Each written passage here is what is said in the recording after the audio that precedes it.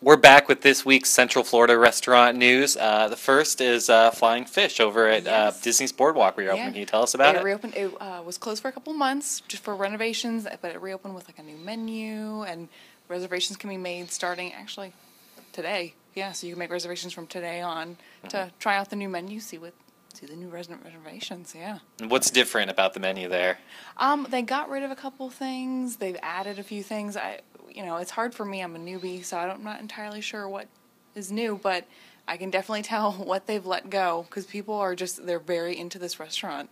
Um, there was like a potato crusted fish that everyone's kind of up in arms that it's not on there now, but I expect they'll find new favorites. You know, usually do. Very exciting. And another thing that's kind of old but new that's happening is if anybody remembers Kappo that was at uh, East End Market, uh, they're opening a new concept called Cadence right there in Winter Park at the old uh, Winter Park Beer Company location there on uh, Audubon and Winter Park Drive. So uh, one of the actually the weird things about it is they said they're not going to have a menu.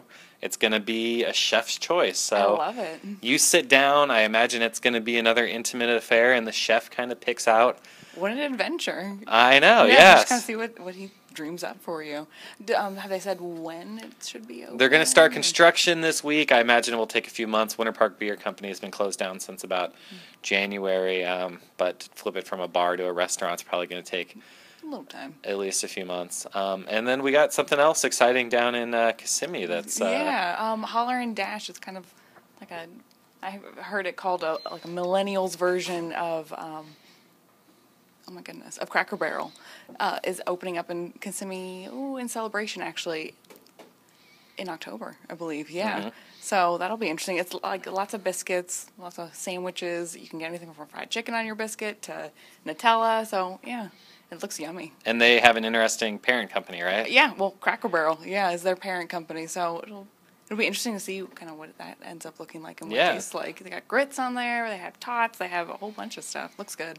Yeah, and uh, um, Cracker Barrel is known for their southern biscuits and stuff, Yeah. so uh, it should be exciting. And then the last uh, kind of thing that we had happen this week is we had a couple restaurants that were closed. Anthony's Pizza, if you know the many Anthony's pizzas in town, this one was the one down on 4967 South Orange Avenue. Um, roaches, rodents, the normal things.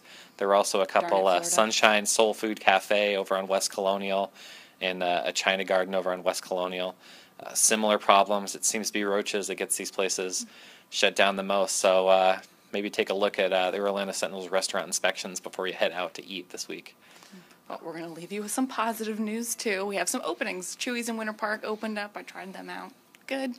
You know, they have the burritos big as your head, the homemade tortillas, lots of margaritas. So check that out if you're into, you know, Mexican food. And then Blaze is opening. They're having their grand opening Friday, August fifth.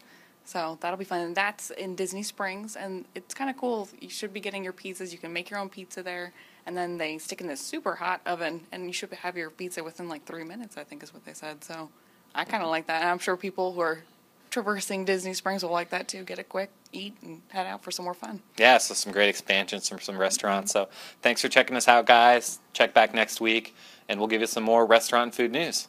Thanks.